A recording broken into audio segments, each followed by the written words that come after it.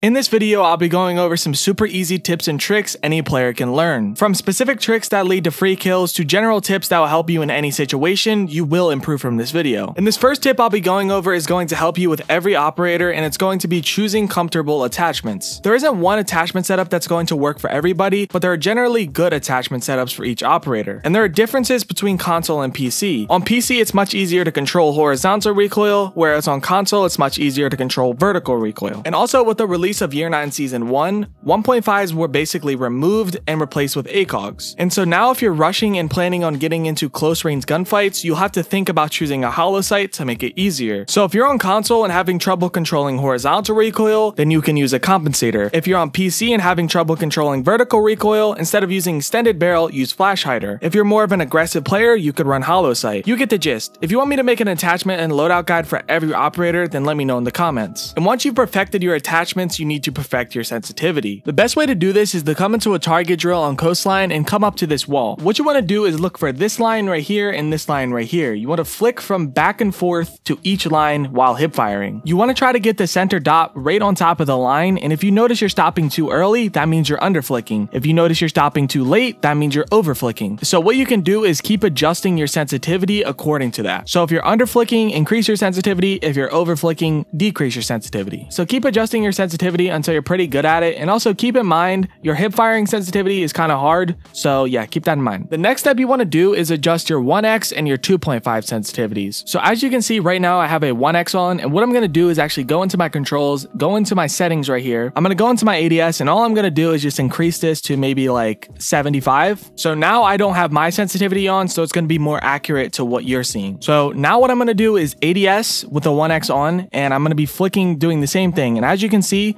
since I'm not used to this, I'm kind of over flicking. It's kind of hard to line it up. So what you would do if you're over flicking, you would go into your sensitivity and lower it. And once you've gotten yours, you know, dialed in, what you can do is equip an ACOG. And now you want to go through the same process with the ACOG on. And keep in mind, after you do find your sensitivity, you're not going to be perfect with it because you're basically learning a new sensitivity. But once you do get used to it, you'll be much more comfortable. And that's why I don't use advanced settings because they make this whole process much more complicated. And if you want a way to get used to your new sensitivity, what you can do do is go into a shooting range or a free for all and just practice. And after a while, the new sensitivity that you're using is going to feel perfect and you'll probably won't need to change it for the next few years. So now that you're going to be much more comfortable since you've perfected your attachments and sensitivity, we can go over how to use them much better. And specifically what I'm going to be talking about is holding angles. In Siege, there's a thing called Peeker's Advantage, is one of the most useful things to take advantage of. And you have to keep this in mind when you're holding angles because Peeker's Advantage can easily be used against you. If I'm holding an angle like this right up against the doorway and I'm exposing too much of my body, when someone swings out, they're going to see me first because of Peeker's advantage and I'm most likely gonna die. So what you wanna do is back up from the doorway and hold a much tighter angle. Backing up from the doorway is going to make much less of your body exposed. And you might be like, why would you hold such a tight angle? Well, when you hold a tight angle like this, obviously you're going to see less of the enemy when they swing, but you are going to be much more safe and not get pre-fired. And the other main advantage of holding such tight angles like this is once you see the person swing out, you know they have to be on the other side, so what you can do is get that information and then swing out.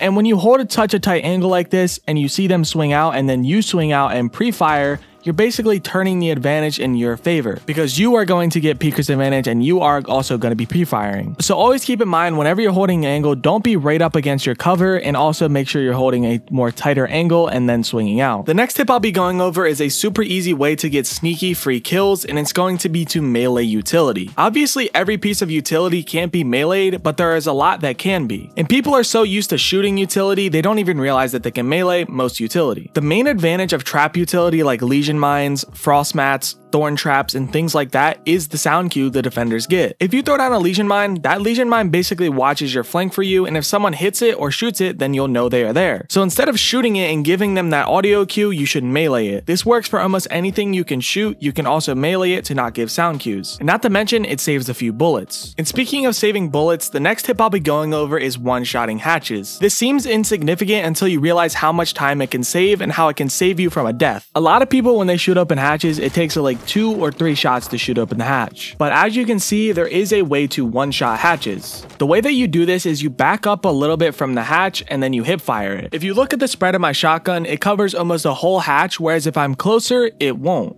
This is the way to one-shot hatches, and if you're running from someone or trying to flank someone or any situation where you just need to one-shot hatches, make sure you line it up.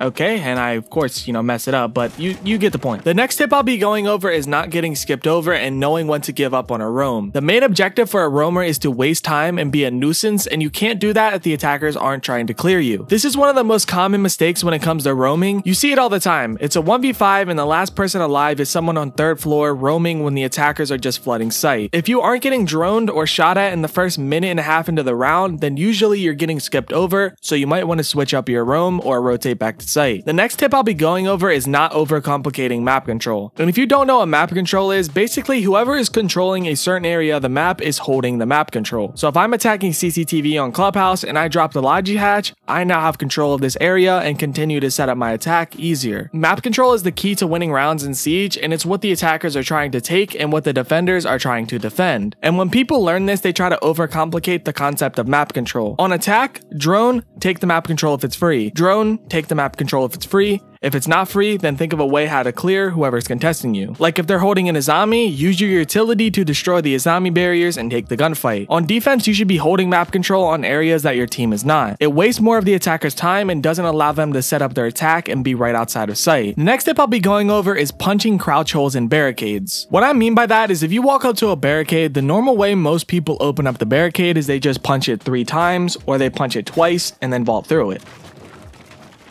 Now, if you were listening to that, that was very loud. So if a defender is nearby, he's most likely going to hear that. The better way to do it is come up to the doorway and you want to look for panels three. So if you can see there's little lines in the barricades, you just go up one, two, three. There's panel three. You punch right there.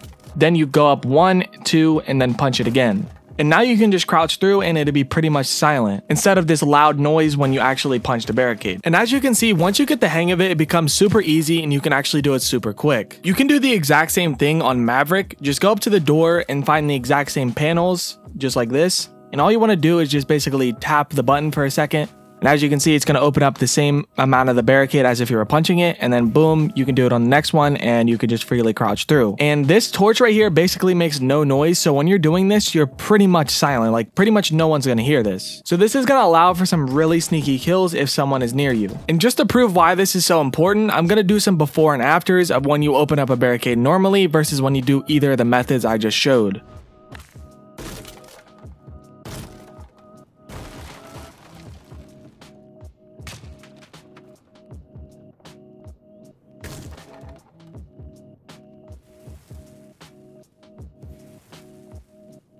Now, as you can see, it makes a pretty big difference, but now just imagine that it was masked by gunshots and explosions that normally go on during the round. It would be much more quieter than it already is. So the next step I'll be going over is how to actually open up hatches solo. So if you see a cated hatch, the normal way to open it up would usually be using an EMP on it or maybe like a Twitch drone to destroy it. But that requires a teammate and there's a lot of situations where you can't really rely on your team. So to get rid of the Kaid claw on the hatch, you should be either Hibana, Thermite, or Ace. For Ace, all you have to do is throw two ace charges on either side of the hatch, just like this.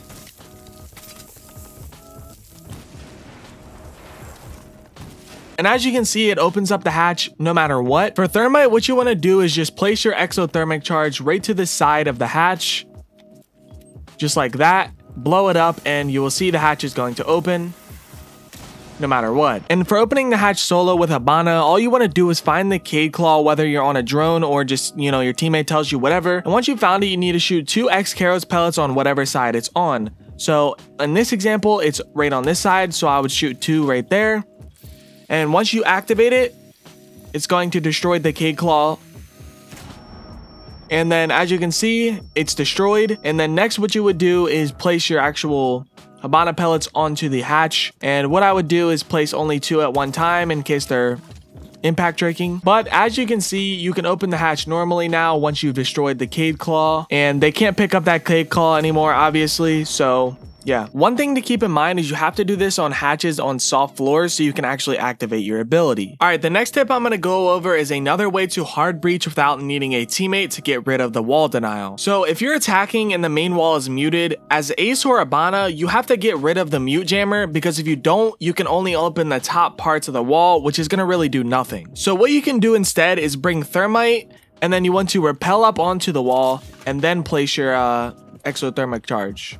And so what this is going to do is since you placed your exothermic charge all the way up there, it isn't going to be affected by the mute jammer on the other side. And as you can see, when I activate it, it's going to blow up the whole wall as if there's nothing on it. And another thing to keep in mind is if you can't repel up on a wall, like obviously I can on this wall, but let's say I couldn't repel onto this wall, what you can do is come into the corner of the wall and then look up as high as possible right here. The mute jammer on the other side of the wall isn't going to affect my thermite, but this only works sometimes. And as you can see, once I blow it up, it only affects the right side and not the middle. So if you didn't want the right side, then obviously this isn't going to work, but it's still a very good thing to know. And the next tip I'll be going over is shooting to conceal sound cues. Siege is a game of sound cues. It's one of the most important aspects to winning rounds. So you want to do your best to not give away sound cues. That's why earlier I showed you how to break through barricades quieter, but there's many more ways to conceal sound cues. And that's why this next tip is a way to do it with gunshots. The times that you should be doing this are whenever you go crouched or proned. Anytime that you go crouched or proned, you can shoot just to conceal the sound of it, or whenever you're rappelling in, or whenever you're dropping a hatch. There's a lot of situations you should be doing this in. But just to prove why this is so important, I'm to be doing a few before and after tests of shooting to conceal sound cues.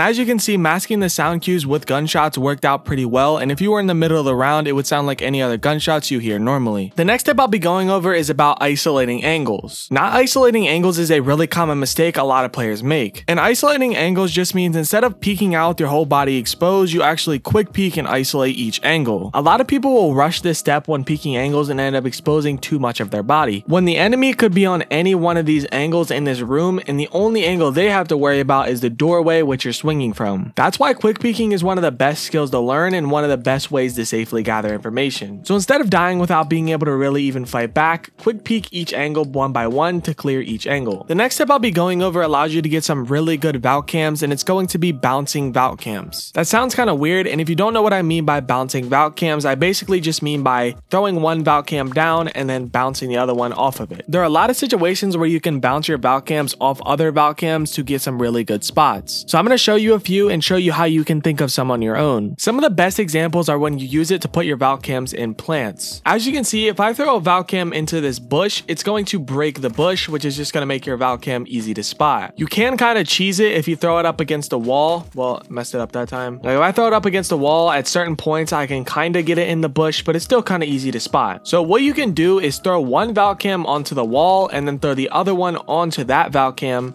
and then it's going to bounce into the plant. As you can see, the Valk cam is still going to be able to go through the plants, and this isn't the best example, but it's still going to give you good enough intel while being super hidden. Another way to use bouncing Valk cams is to get them in spots you normally can't. As an example, if I'm on Oregon, if I throw my cam into this corner, as you can see, it's super easy to spot. It does give good intel. As you can see, you can see the whole master, you can see closet, trophy, whatever, but it's super easy to spot, and most of the time it's going to get destroyed. So what you can do to get into a better spot is throw one Valk cam onto this dark spot right there, and then bounce the other one off of it, pick this one up, and now it's going to be in a really good spot. It's very hidden up there. You're not really going to see that as an attacker. You're most likely going to be focusing on other things and you're not really going to see that. And as you can see, it's still going to give you very good intel. You can still see into closet and into trophy and you can see the master walk-in with audio. And you can do this on a lot of different spots to actually create your own spots. So as an example, I'm just going to show you a random one. If I throw one Valk cam like right there and then bounce the other one off of it, it's going to land onto that box. And then I can pick this one up. Now this Valk cam is horrible, but you get the point. You can create your own spots and you might find some really good ones and some that aren't really known. And the next step I'll be going over is prepping windows. And what I mean by prepping windows, if you come to a wall and you hit the bottom part twice like this, then you'll be able to vault through it. And if you do that, the attackers would never know compared to when if I hit it in the middle, obviously the attackers are to hear that. So yeah. And you can pair this with like maybe a default cam, go onto your cams. If you see somebody, then you could run out of a window to kill them. You could go on your Solis scanner to see the devices and, you know, go run out then. You could do it on Pulse like I have right here. As you can see, if I see an enemy on the other side, I, you know, just punch it twice and then run out. And another thing is, is it's pretty much silent, so you can do this even if the attackers are on the other side nearby. So let's do a sound test just so you can hear how hard it is to hear it.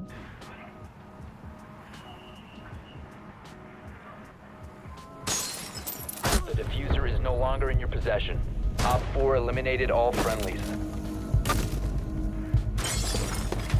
Now, never mind. I said it's hard to hear. Actually, it's just silent. You actually can't hear anything until the glass breaks. So, yeah, use this in your games. But with that, let's move on to the next tip, and it's going to be something pretty similar to prepping windows, and it's going to be shooting glass off of windows. If someone were to repel on the other side of this window, you would be able to hear significantly better if you shot the glass off than rather if you didn't. So, let's get into the before and after.